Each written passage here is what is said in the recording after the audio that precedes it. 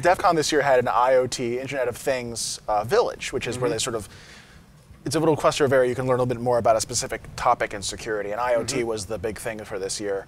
There's a, a company, Pentest Partners, and what they did is they took a crack at this Samsung smart fridge. And the, the model number is, is it's, it's actually this huge long model number, but basically it's a smart fridge that has a little touchscreen on it that connects to the internet over Wi-Fi and has all these features like connecting to your Google Calendar. So instead of having a paper calendar on your fridge, you have your Google Calendar. It mm. can show photos, it can play music, it can control the temperature inside of the fridge. All sorts of features. And I was going to say, in you know, helpful features, but some of them are kind of like, you know, my fridge did this before.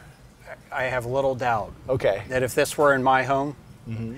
there would be a paper calendar hanging over top of the touchscreen. You wouldn't even know it was a smart fridge. Yeah, that's, that's a good point. I mean, they, they, they've taken so many things. Like, now I've got more room for magnets. Great, I guess. Or maybe not, Maybe not. right?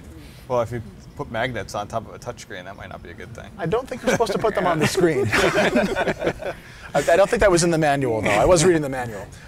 But anyway, they, they took a crack at it, um, Yeah. at least within the spa- time span of DEF CON. Yeah, and they intended. found out um, that this has kind of a common flaw that we find in IoT devices, where it does try and connect over SSL to certain websites, including uh, Google Calendar, except it doesn't validate the SSL cert it gets. And that's, that's pretty much the point of SSL is to know who you're talking to. If you're not validating that, that certificate, you know you're encrypted, but you don't know who you're actually talking to. Right. So it seems that you can, if you've entered your Gmail credentials into your fridge and someone man in the middle is the connection, your credentials are out in the open. Mm-hmm. Uh, it seems there's a couple other services that it also supports, and there are other models of, of Samsung Fridge that support Mm-hmm. even more services than that.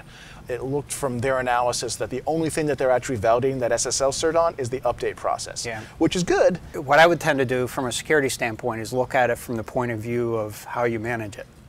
That is, does it automatically do updates? Or are there things that you have to do to manage it, administer it like it's a computer?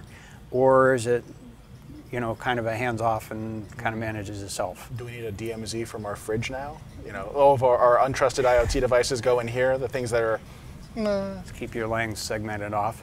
Yeah, well, yeah, it's, is it, like you said, is it something that you have to manually get on there? Mm-hmm.